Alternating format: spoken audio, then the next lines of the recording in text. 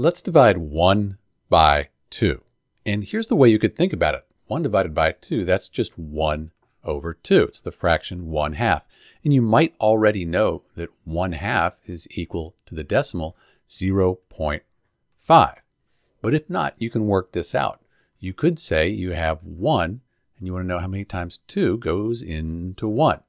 2 doesn't go into 1, so if we put a 0 and a decimal point here, we could call this 10, move over 1. Now, 5 times 2 gives us 10, subtract, no remainder. So 1 divided by 2, that gives us 0.5.